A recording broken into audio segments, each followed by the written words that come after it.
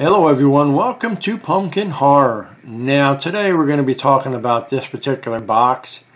Let me tell you my story about this. I pre-ordered this way back literally six months ago on Big Bad Toy Store and I've had it on there and I've taken it off like two or three times only because it's like uh, I'll go to Target and get it uh, once it comes out in the stores and stuff like that so I'll go straight to Target and get it but I would eventually end up putting it back on there. And I finally got it in, okay. It literally took two, three days once I got the confirmation in that we were going to get this in because I've been wanting this particular figure only because of um, Jason's face and the way that he looks suit-wise. To me, this is the best representation of Jason. Uh, it's got a great looking suit and everything. Once I take this out of the box, you will understand what I'm talking about. This is a very cool box set. It's got um, all kinds of unique tools that he uses, okay? And we're going to touch base on those as well, okay? So we will be talking about this particular uh, figure in just a second. Okay.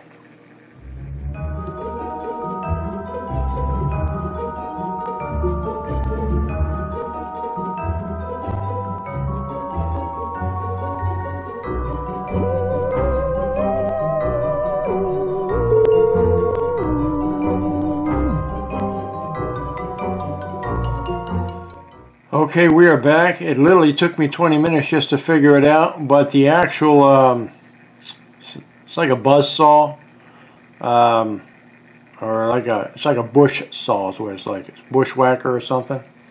But anyway, I'm still trying to figure it out because I can't seem to get it to hold in the hands properly. I just got to position the arms or something in some sort of way in order for it to stay there because this is the way I want to show, uh, display this um, particular Jason up against the other ones with this particular tool because next to the machete it is quite famous in this movie is this uh, bushwhacker or what do you want to call it bush saw. But anyway before we get into the actual figure in itself uh, let's get into the accessories that it comes with and it comes with an ungodly amount okay? Let's start off with this bad boy right here. This right here is in fact get it back up there. Oh hang on I'm going to pull this focus back. Now we're going to try it. Okay? It is the sickle, okay guys? Turn it around. Alright. That's what that looks like. I'm going to show you the handle. Alright, that's what that looks like. It's got a neat little pattern on the handle too. Kind of weird looking really. I guess when you put it inside the hand you don't notice it so much but you notice how it's got like a little like a bend? It's pretty cool looking. But anyway. Next thing we're going to show you is um, it's kind of like a bush sickle type thing where it actually chops away at these big bushes. Okay he used this as well okay? He did a lot of major killing in this movie but he was also dealing with more or less uh, like um, a mutant in some sort of way. She had serious, serious telekinesis or telekinetic powers and stuff to the point she ended up killing her father when she was younger based on her powers. But she ended up putting him through the mills with this te telekinetic powers. She would do all kinds of crazy things to Jason. Okay, it's pretty cool looking. But anyway, uh, the unique thing about this, I will tell you this about this particular Jason, is probably my all-time favorite when it comes to the costume and the way that he looks. Absolutely badass because he's technically the undead here. Uh, he just came back from, um, I'm not sure, but anyway, he he's the undead in this uh, situation. But the way he looks in this movie, and as you can see, uh, some of his um, back skeletal type uh, situations going on. Um, he's pretty much rotted from the water and stuff when he when he uh, was thrown in the water uh, by Tommy, I think in the last movie, and he just you know he was down there, uh, chained to the rock and stuff like that, and obviously because of her telekinetic powers, she released him, and obviously he went on a you know rampage. But anyway, long story short. This is the best looking Jason in my opinion, right? I'm going to show you the face and everything. I've been waiting for this figure for a very, very long time. But anyway, uh, this is more like a bush sickle type uh, tool, which you can just kind of chop away at the big thick bushes. Okay, so let me show you what that looks like. All right. It's got nice little colors to it too, as you can see. All right. Okay. Moving on from that, we have the axe. Okay. It's very cool the way they did the axe. It's got a nice of curvature to the handle and everything. It's very nice.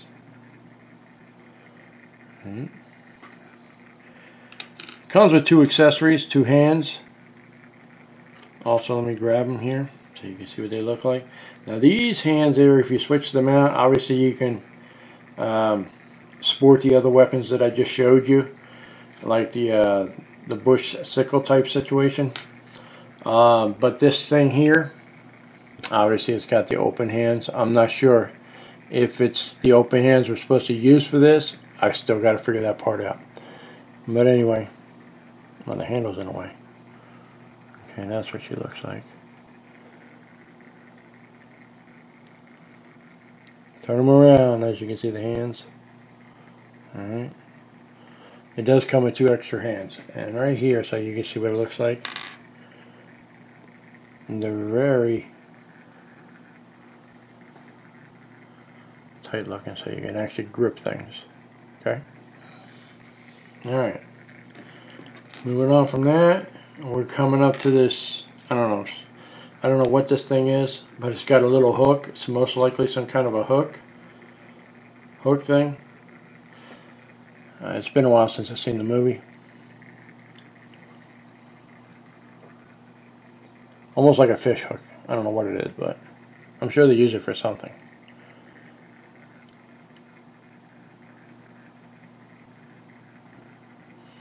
Comes with some pretty decent accessories. Okay, now we're coming up to this one here. This is, in fact, Michael Myers' knife. Yes, Jason took it from Michael Myers, whooped his ass, and took his knife. No, just kidding. I will tell you this, I do like Jason a little bit better than Michael Myers. Michael Myers in himself is a very cool serial killer type uh, human, and he is quite ruthless. I've seen all the movies, I've got all the movies. I'm a big fan of the movie, but I just prefer Jason in the way that they treated Jason because he's practically a zombie, okay, undead. He's going to hell. He's done all kinds of crazy stuff. But that's the knife. Okay. Show you the handle that. Pretty cool. Yep. It's a French knife or a chef knife. Very similar to Michael Myers. Okay. Now, the most infamous of all his weapons is his machete or machete. Okay? And this is nice and clean. It has no blood on it, guys, okay? Alright. The handle. I do want to make my do-it-yourself type machete because I've got a bunch of masks that I've been actually working on. Pretty much like Big Hush does with his, but not as nice as his. But these are not bad looking.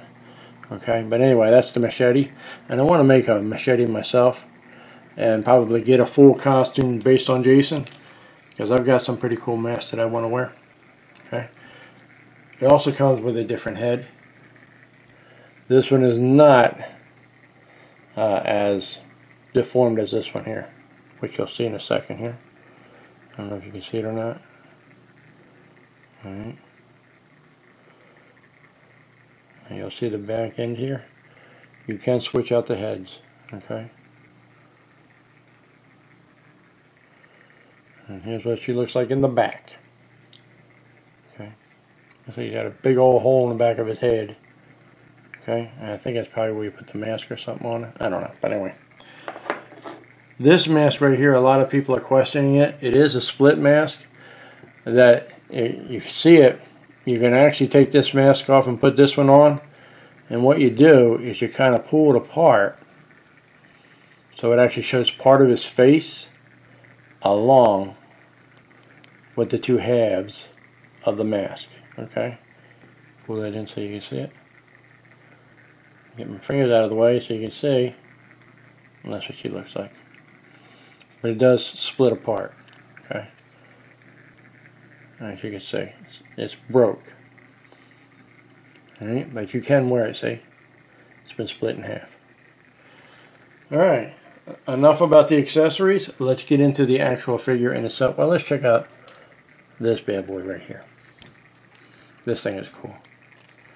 First of all, the blade does move, okay? But like I said, I've got to figure it out how um, to place it in his hands. I got to look at some close-up pictures of it. Okay, that's what she looks like. Looks just like a skill weed whacker, except it has the blade at the end. Okay.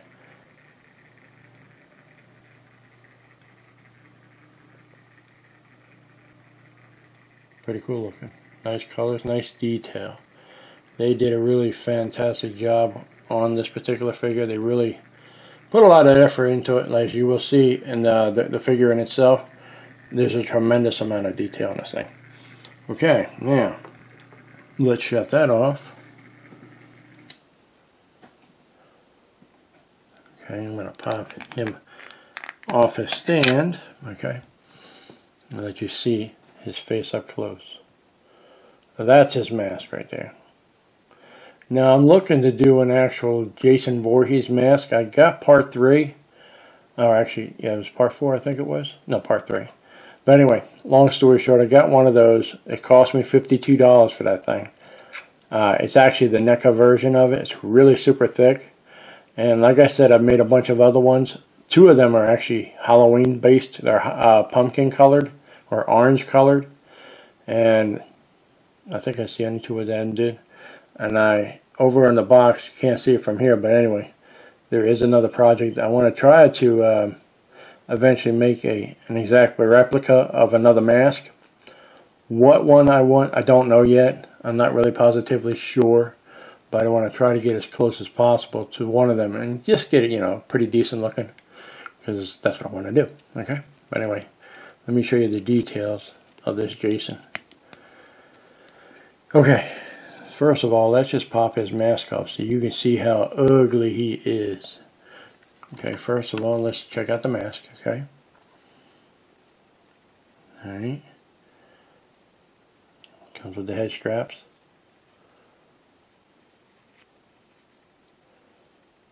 There you go, guys. That's very cool looking. Now I have um, a Rubie's version of the entire hood along with the hockey mask but the hockey mask had some funky looking color, almost military green. Was very cheap looking. I didn't like what they did to that, so I actually repainted it. And it looks closer to the one I just showed you there. But anyway, let me show you his ugly face here. That's what he looks like up close. He's one ugly motherfucker.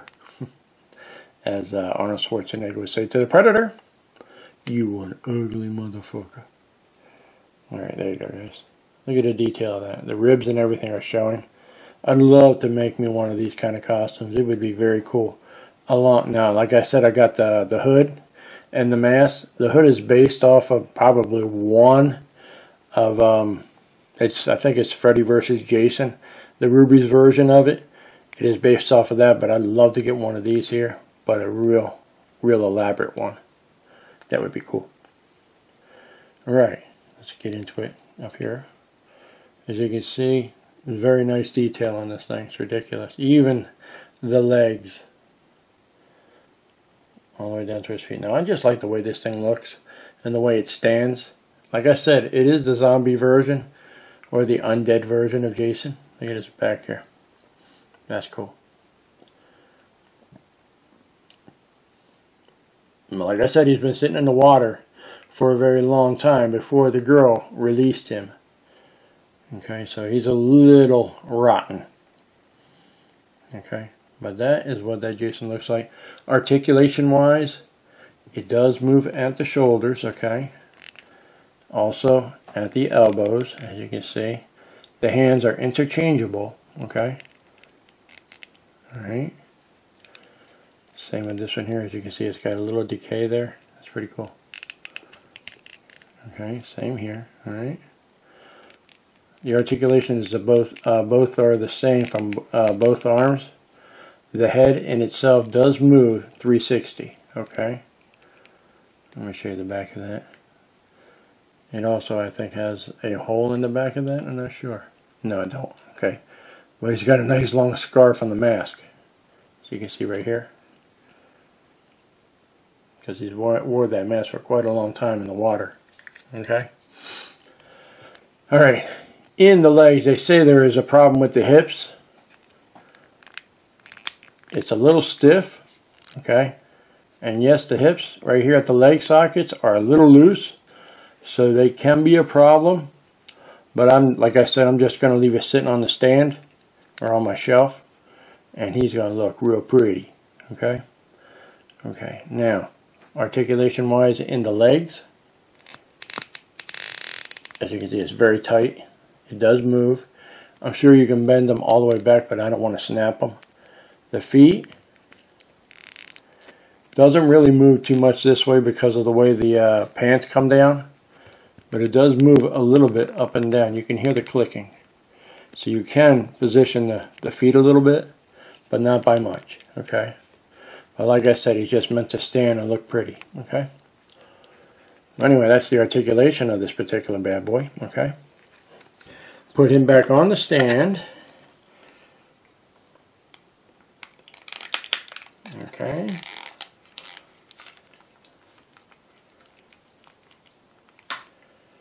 And that is he looks like on the stand.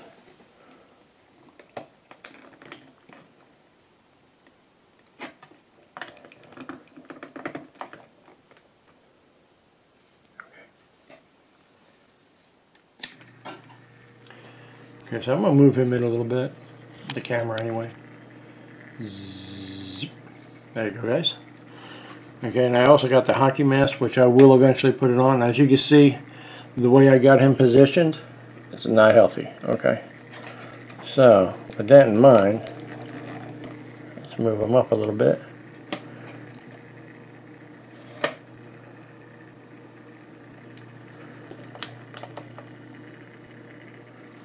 Yeah, see how that looks. Okay, that don't look too bad. Okay. Anyway, that is what Jason looks like. He is the new blood version. It is part 7. And the mask in itself is very cool looking, but I do like the Freddy vs. Jason mask. The way they do that. And Big Hush does a version of that, and it's fantastic looking. I might just go ahead and buy one of his. I'm not really sure yet. Uh, but anyway, it comes with different accessories as well. And like I said, when it comes to this particular Saw thing, I will get him to, um, oh sorry, let me pull that back. So you can actually see it. There you go. I will get him to uh, sport this, okay? And he's going to look really cool next to the other Jasons. Okay? But anyway, that is it. Now, this particular figure in itself is roughly 8 inches tall. Okay? And you already know about the articulation. Alright?